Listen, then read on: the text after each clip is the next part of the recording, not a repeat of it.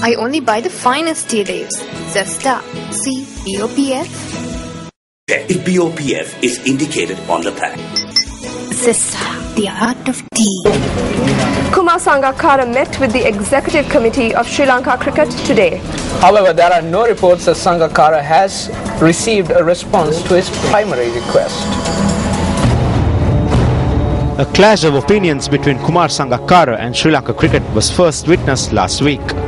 This was due to indecision on whether Kumar Sangakkara would play for the Kandurata Maroons or the Sunrisers Hyderabad team for the T20 Champions League that is to commence on the 17th of this month in India. SLC Secretary Nishant Ranatunga said that SLC has made a request of Sangakkara to play for the Kandurata Maroons at the upcoming Champions League.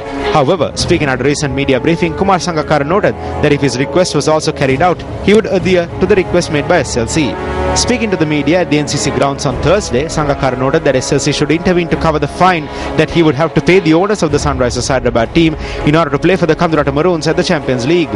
Sangakkara said that as a result of SLC failing to act even at the final moment, he was severely inconvenienced. Champions League, sa IPL. A lot of people have misunderstood this. This is not between country and money or country and the IPL. That is completely wrong.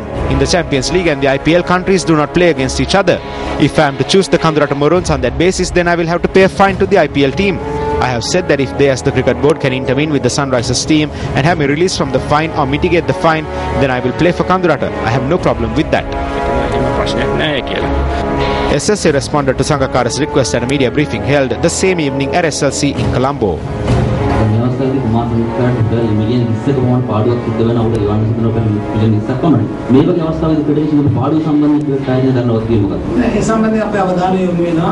We have drawn attention towards this. If he decides to play for the Sri Lankan team, we will consider this. The same evening, Kumar Sangakkara announced his decision to play for the Kandurata Maroons.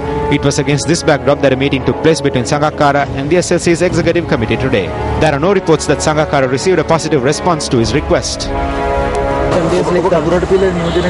You have decided to play for the Kandurata team.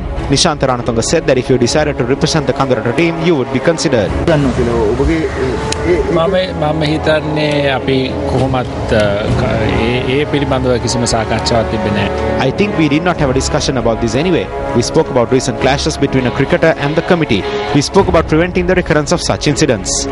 හිතනවා මින් ඉදිරියට අපිට අ, ඉස්සරහට යන්න පුළුවන් වෙයි කියලා. When responses have not been preferred to the primary problem, can SLC President Jayanta Dharmadasa be able to reconcile difference in the future?